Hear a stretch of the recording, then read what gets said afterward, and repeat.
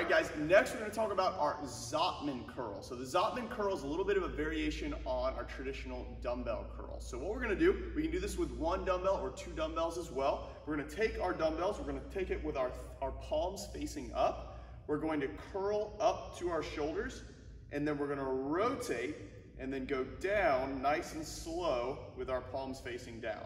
And we're gonna turn, up, rotate, down, turn, up, rotate, down.